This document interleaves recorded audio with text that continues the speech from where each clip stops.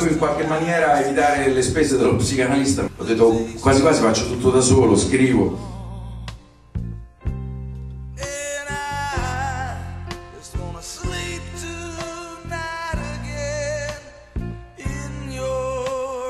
È una fede, una passione, pelle, anima e cuore.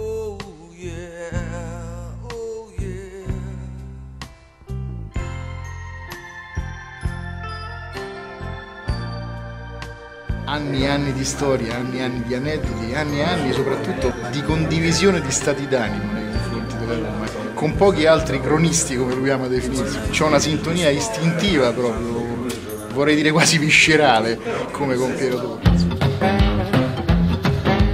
Io mi ricordo che collezionavo figurine della Panini e le raccoglievo in un diario che ancora oggi i figli se lo guardano. Piero Torri è uno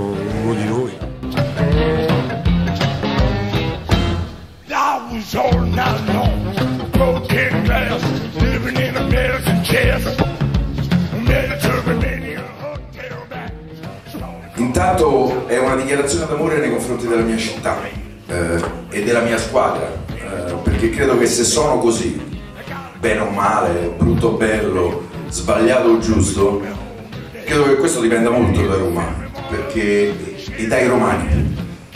E poi pochettino di più eh, dai romanisti. Mi piaceva l'idea di ripercorrere in qualche maniera la, la mia vita professionale eh, dichiarando questo amore. In realtà uno scrive per se stesso, eh, scrive per eh, raccontarsi delle cose che magari ad alta voce non c'è il coraggio di dirsi, in qualche maniera si cura. Eh, eh, io ho bisogno di essere curato da, dal fatto di aver messo un punto e di aver girato l'angolo. Questo è stato un viaggio anche dentro me stesso alla ricerca di tornare alla purezza del tifoso che ero finché non ho cominciato a fare il mio mestiere perché 30 anni presso, quasi 30 anni presso la Roma di, di, cose me ne sono successe parecchie. Andavo allo stadio da ragazzo e cioè, io partivo la mattina alle 9 e mezza da casa, prendevo il treno a Via La Spezia, si arrivava alle 10 e mezza, alle 11 si entrava allo stadio, la partita era, era alle 2 e mezza. Infinita, con i panini, con la pizzaiola, con la frittata di mamma. Eh, Piero Tori è un po' un'istituzione, lo ascolto tutti i giorni sempre ben volentieri, penso che sia ancora eh, uno dei pochi della vecchia guardia, un giornalista serio, un professionista.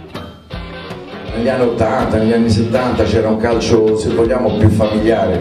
L'ingegner Viola, che è stato il mio presidente, aveva un rapporto con i calciatori assolutamente vero, genuino, magari ci litigava pure con Bruno Conti per esempio ogni volta che c'era un rinnovo del contratto era una litigata pesantissima, durissima, però poi i calciatori si mettevano quella maglia e, ed era un tutt'uno con la loro pelle. Si vede che è una persona che se ne intende di calcio e quindi è piacere starla a sentire.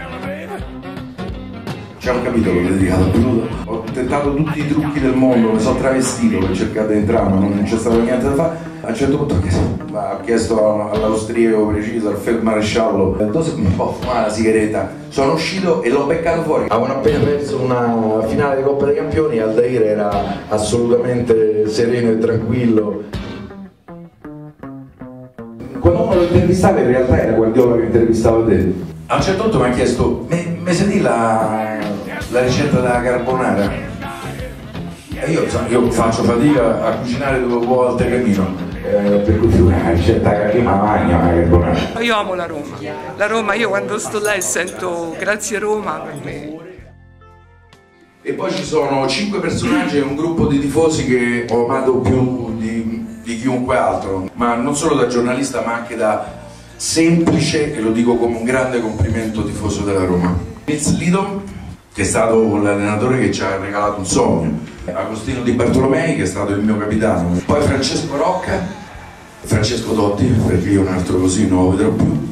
Come noi andavamo in campo Agostino Di Bartolomei, le generazioni di questi ultimi 20 e passa anni sono andate in campo con Francesco. È stata la sua grande forza nei confronti di tutta uh, la tifoseria romanista che in realtà si è sentita Francesco.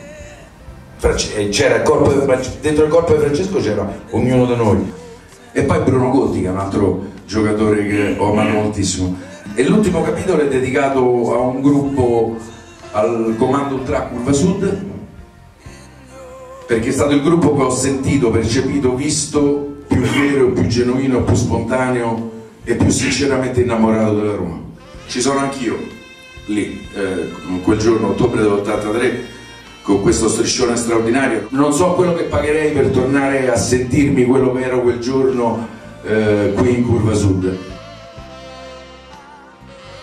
Tifoso è anche un po' fazioso, è anche un po' puzzone. Eh, ho sempre tentato di mettere insieme le due cose, ma non è stato semplicissimo.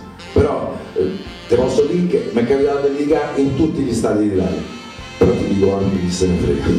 Grazie.